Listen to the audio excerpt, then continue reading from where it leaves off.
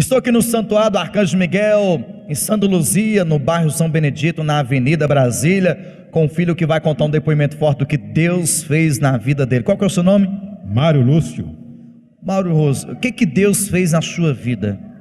Ah, Deus fez é, na minha vida muitas coisas, mas a que ele fez ultimamente é que eu passava uma luta, irmão, para mim vir para o santuário, às vezes tinha que vir a pé, ou às vezes tinha que pe- pedir o Uber, o Uber vinha até no meio do caminho, depois dispensava a gente, não vinha mais, tinha que pagar a taxa de 4,50 todas as vezes. Aí eu falei, não aceito isso não, meu Deus. E para onde eu gosto de Jesus, através da minha fé e do meu sacrifício, eu fui no Monte Manaim, irmãos, coloquei meu, meu nome lá no Monte Manaim, no dia 2 de novembro, eu fiz o. Como é que fala? O, O pacto com o Arcanjo Miguel. Miguel, cumpri meu voto direitinho e pedi a Deus o meu carro. E para honrar, honrar o nosso Deus, meu carro chegou, a chave do meu carro está aqui. ó. Eita glória! Tá aí o carro.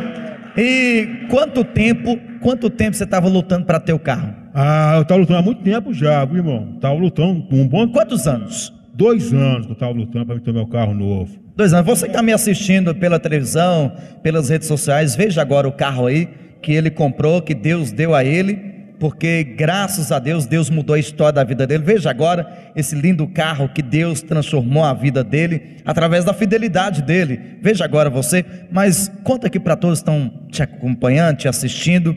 é, o segredo disso é ser fiel a Deus. O segredo é ser fiel, irmãos, que não é fácil, não. Foi muita luta. Foi com luta e sacrifício que consegui esse carro. Não é carro velho também, não. É um carro que eu posso entrar nele, falar, vou lá e vou e volto. Em nome de Jesus, entendeu?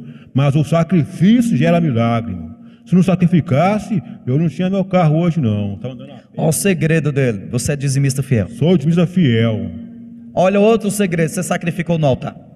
Sacrifiquei no altar e não, não deixa de ser dizimista, não, irmão. Eu, eu entrego o meu dízimo até, até da- do dia da passagem que eu recebo, para me trabalhar e voltar. Eu tiro o dízimo da minha passagem, quando ela é dinheiro. Tudo que vem na sua mão, você separa a décima parte e coloca no altar. Parte, tira a décima parte, aqui, meu Deus, aqui é do Senhor. É, a chave é ser fiel. O que, que você tem a dizer para as pessoas que estão te acompanhando agora? Olha, irmão, seja fiel, não tenha medo, não. Seja fiel no seu dízimo, nos seus votos. Sacrifique, irmão, que o sacrifício gera um milagre. Vale a pena ouvir o profeta? Vale a pena ouvir o profeta. Vale a pena Vale a obedecer? pena obedecer. Eita glória, olha lá. Vamos, vamos no três, dá um, dá um ponto de vitória. Um, dois, três e. Ya!